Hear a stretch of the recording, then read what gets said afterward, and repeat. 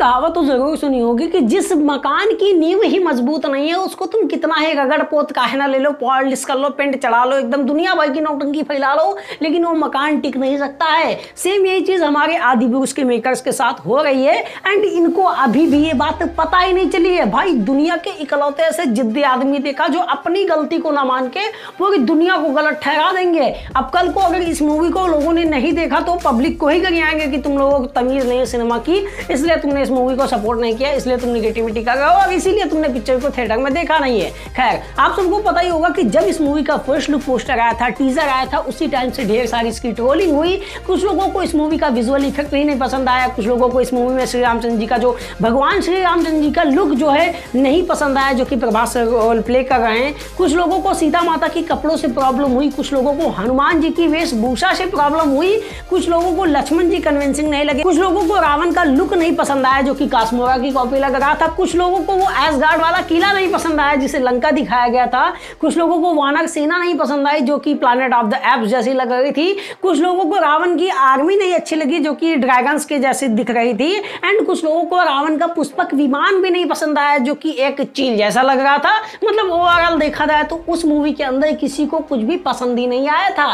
And उसके बाद आप सबको पता ही होगा कि इनके मेकर्स ने कहा कि ये थ्री के लिए बनाई पिक्चर तुम छोटे लोग हो, इसलिए तुम्हें पसंद नहीं आता। है। लेकिन जब ढेर सारा प्रेशर पड़ा तो इस मूवी को पोस्टपोन कर दिया गया। एंड इनके मेकर्स ने दावा किया कि हम इस मूवी को और अच्छे से प्रेजेंट करेंगे। छः महीने का टाइम हमें चाहिए। हम 16 जून को मूवी लेके आएँगे। बेस्ट विजुअल इफ़ेक्ट का काम आपको दिखाएँगे। एंड हर वो चीज़ चेंज कर देंगे, जिससे पब्लिक को प्रॉब्लम हो रही है। और फाइनली आज श्री रामनवमी के मौके पर इस मूवी का एक नया पोस्टर रिलीज़ हुआ है। एंड इस नए पोस्टर को देखने के बाद अपना पहला रिएक्शन था कि, चाचा, तुमसे ना हो पाएगा। कतई हो ही नहीं पाएगा। चाचा, तुम अब छोड़ दो इस पिक्चर को, ऐसे रिलीज़ कर दो।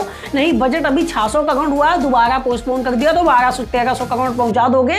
तुम मतलब टी सीरीज़ को पूरा खत्म ही करवा दोगे। खैर टी सीरीज़ खत्म हो गई तो ज़्यादा दिक्कत भी नहीं होगी, वो रिमेक सॉन्ग से तो फुर्सत मिल जाएगी। खैर, इस पोस्टर के बारे में बात करें तो आपको बता दूँ कि कुछ चीज़ें ज़रूर इन लोगों ने चेंज करी हैं। जैसा कि इसकी कलर ग्रेडिंग जिसको चेंज करने के लिए कभी किसी ने बोला ही नहीं विच मीन्स पहले इस मूवी की जो कलर ग्रेडिंग तानाजी जैसी लग रही थी और क्योंकि डायरेक्टर से ही ओम रावत ने भी कताना जी बनाई थी और इस मूवी को भी ओम रावत ही बना रहे हैं, ओम रावत सर। तो ऑफकोर्स वो कलर ग्रेडिंग सेम होना चलता भी है। जैसे कि सिद्धार्थ आनंद की वॉर बैंग बैंग और पठान की एक जैसी लगती है, वो कोई प्रॉब्लम वाली बात नहीं है, क्योंकि उस पर तो कोई प्रॉब्लम थी ही नहीं। इस मूवी की कलर ग्रेडिंग या फिर पोस्टर के अंदर जो कलर ग्रेडिंग यूज़ करी गई है, अब इसको पूरा का पूरा येलो बना दिया गया है और ऐसा लगा है कि ये वायरस की तरफ़ से निकल के आने वाला प्रोडक्ट है।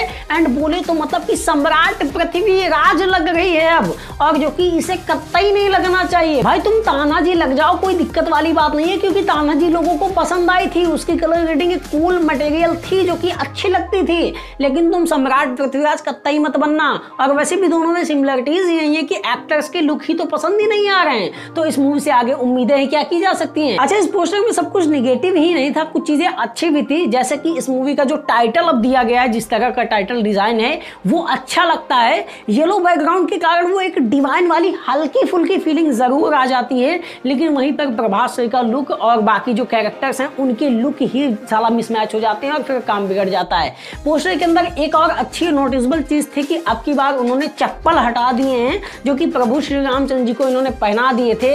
अब उनको हटा के नंगे पाँव कर दिया और जो कि ठीक लगा। तीसरी चीज़ जो ठीक ठाक लगी वो इस मूवी के अंदर सीता मैया का जो रोल और उनके जो कपड़े थे, उनको भी चेंज किया गया है। अब इस सिर्फ़ पोस्टर में ही चेंज किया है, या फिर पूरी मूवी में ये तो देखने के बाद ही पता चलेगा। वैसे मूवी के अंदर चेंज कर पाना थोड़ा सा इम्पॉसिबल है बिकॉज़ आपकी इसका कोई भी पोर्सन रीशूट हुआ ही नहीं है। मतलब कि सेम वही मटेरियल बस थोड़ा हल्का फुल्का पीला कलर छिड़क के आपके सामने परोसा जाएगा। अच्छा इस पोस्टर के बारे में मैंने इतना सब कुछ तो बोला है, लेकिन टू बी ऑनेस्ट एक पोस्टर मैं आपको दिखाता हूँ जो कि फ़ैन मेड था। अगर ऐसा ही प्रेजेंट किया होता स्टार्टिंग से तो भाई इस पिक्चर की बात ही अलग होती फीलिंग्स ही अलग होती, भले ही वी थोड़े बहुत कमज़ोर क्यों ना होते, लेकिन हम कन्विंस हो जाते क्योंकि प्रभास को हम एज ए श्री रामचंद्र कुछ दूसरा ही इमेजिन कर रहे थे एंड इन लोगों ने फाइनल प्रोडक्ट में हमको कुछ दूसरा इमेजिन करवा दिया या फिर दिखा दिया। खैर, इस बारे में तुम्हारा क्या कहना है? ये मूवी जो है जून के महीने में रिलीज़ हो रही है, जब जून के महीने में बॉलीवुड की तरफ़ से तीन पिक्चरें जवान हो जाए, मैदान हो जाए सत्य प्रेम की कथा एंड हॉलीवुड की भी कई सारी फ़िल्में रिलीज़ हो रही हैं तो इसके बॉक्स ऑफ़िस पर चलने के चांसेस के बारे में तुम्हारा क्या कहना है? एंड क्योंकि मूवी के अंदर प्रभास सर करें तो हाँ ओपनिंग तो बहुत अच्छी लगेगी, क्योंकि बंदे की फ़ैन फॉलोइंग अलग लेवल पर है। और रही बात मेरी तो प्रभास सर के लिए थोड़ा सा बुरा लग रहा है, क्योंकि उन्होंने इस मूवी को साइन किया।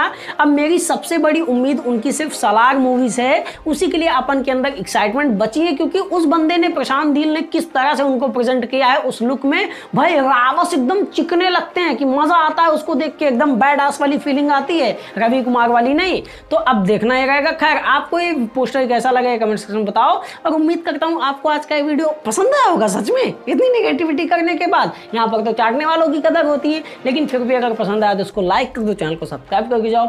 मिलेंगे किसी अगले वीडियो में। ओके बाय जय हिंद।